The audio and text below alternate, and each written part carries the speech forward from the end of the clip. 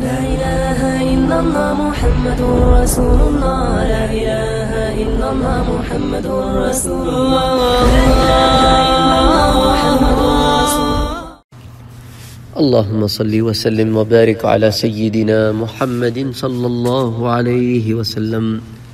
پھر رسول اکرم صلی اللہ علیہ وآلہ وسلم کے پاس بنی محارب کا وفد آیا۔ اس وفد میں دس آدمی تھے۔ ان لوگوں میں خزیمہ ابن سواد بھی تھے۔ جس زمانے میں حج اور عرب کے دوسرے تہواروں کے وقت جب قبائل کہیں جمع ہوتے، حضور لوگوں کو تبلیغ کے لیے وہاں پہنچتے تھے۔ تو یہ خزیمہ ابن سواد آپ کے خلاف سب سے زیادہ بدگوئی اور زبان درازی کیا کرتے تھے۔ یہ حضور کی مخالفت میں سخت ترین لوگوں میں سے رہ چکے تھے۔ غرض یہ بنی محارب کا وفد مدینہ آیا۔ ایک روز یہ لوگ ظہر کے وقت سے اثر تک حضور کی مجلس میں بیٹھے رہے۔ حضور ان میں سے ایک شخص کو برابر غور سے دیکھ رہے تھے۔ آخر آپ نے فرمایا، میں نے تمہیں کہیں دیکھا ہے۔ اس شخص نے عرض کیا، آپ نے واقعی مجھے دیکھا ہے۔ میں آپ کے خلاف سخت ترین بد کلامی اور زبان درازی کیا کرتا تھا اور آپ کو بدترین جواب دیا کرتا تھا۔ یہ اس وقت کی بات ہے جب آپ عکاس کے میلے میں لوگوں کے پاس خود تشریف لے جایا کرتے تھے اور انہیں تبلیغ فرمایا کرتے تھے۔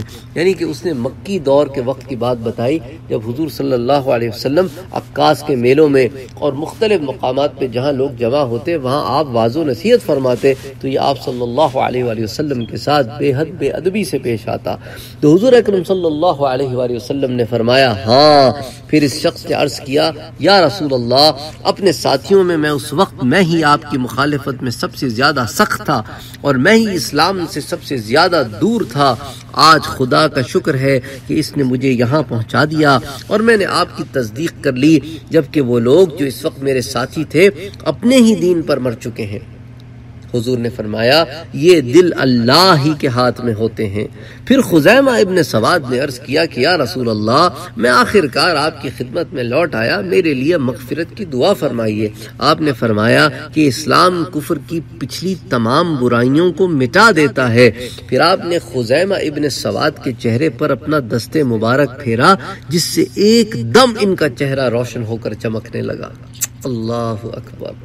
اللہ اکبر سبحان اللہ پھر آپ صلی اللہ علیہ وآلہ وسلم نے ان لوگوں کو بھی انعامات و ہدایہ سے اسی طرح نوازا، جیسے تمام وفود کو نوازتے تھے۔ اس کے بعد یہ لوگ اپنے وطن کو واپس لوٹ گئے۔ وما علینا الا البلال